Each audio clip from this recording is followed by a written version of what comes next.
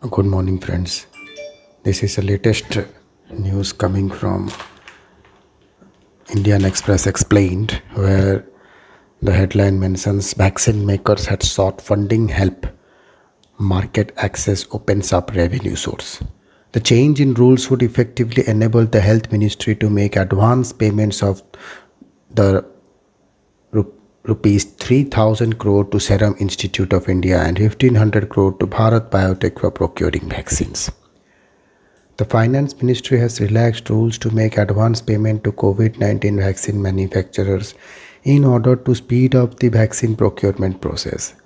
The change in rules would effectively enable Health Ministry to make advance payment of rupees 3000 crore to Serum Institute of India and 1500 crore to Biotech for procuring vaccines.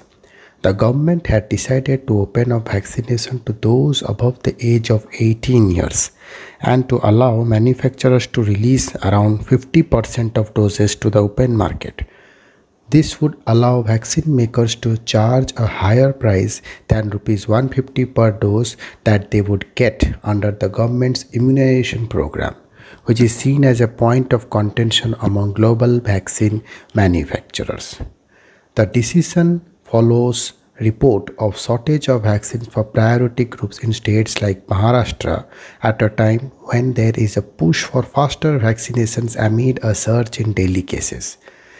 SII and Bharat Biotech have been unable to cope with the rise in demand for Covishield and Covaxin and have been seeking additional grants to scale up production. Sources said central government rules do not permit advance payment without vendor providing a bank guarantee. This key hurdle has been lifted for vaccine procurement.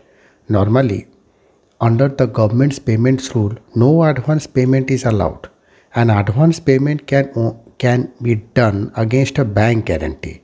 In this case, we have made this relaxation that advance payment can be made for procuring vaccines without any bank guarantee, government sources said. This is for an amount of rupees 3000 crore to Serum Institute of India and about 1500 crore to Bharat Biotech.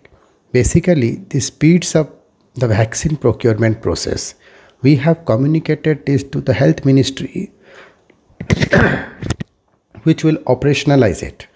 The union budget for 2021-22 had allocated 73931.77 crore to the ministry of health and family welfare much of which is expected to go towards the covid-19 vaccination program the government also said on Monday that vaccine makers would be allowed to provide 50% of their supplies to state governments and open market after transparently making an advance declaration of the price before May 1.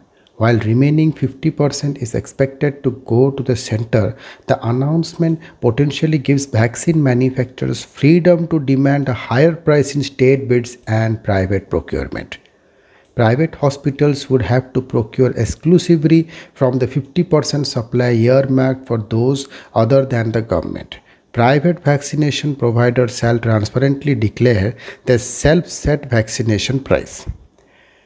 SII CEO Adar Poonawalla had suggested earlier this month that the government's increased demand for Covishield had added to struggles to ramp up supplies and he was therefore seeking around 3000 crore from the government to expand the company's very stretched capacity.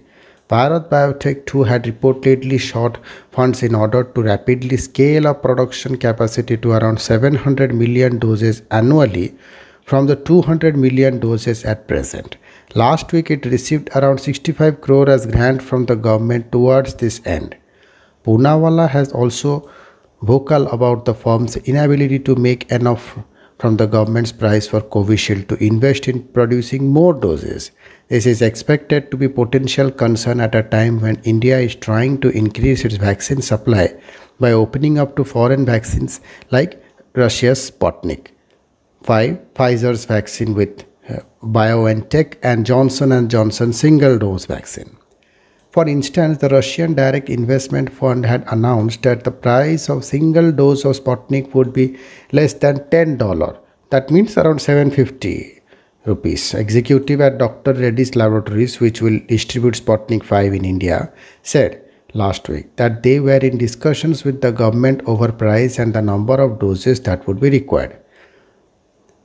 DRL has said that it plans to begin importing doses of the vaccine from Russia this financial quarter between April and June. Johnson & Johnson said this month that it planned to conduct bridging studies of its vaccine in India in order to seek emergency use authorization. There are indications that discussions could take place with Pfizer, which was the first company to approach India for EUA with, with but withdrew its application in February after the regulator insisted on local trials. In the US, Johnson & Johnson has agreement to provide 100 million doses at $10 each, while Pfizer has priced its two-dose vaccine at $19 each, and that means around 1460 a dose. The European Union they reportedly renegotiating the price of charge of uh, 19.50 euros, that around 1757 a dose in 2022. Thank you.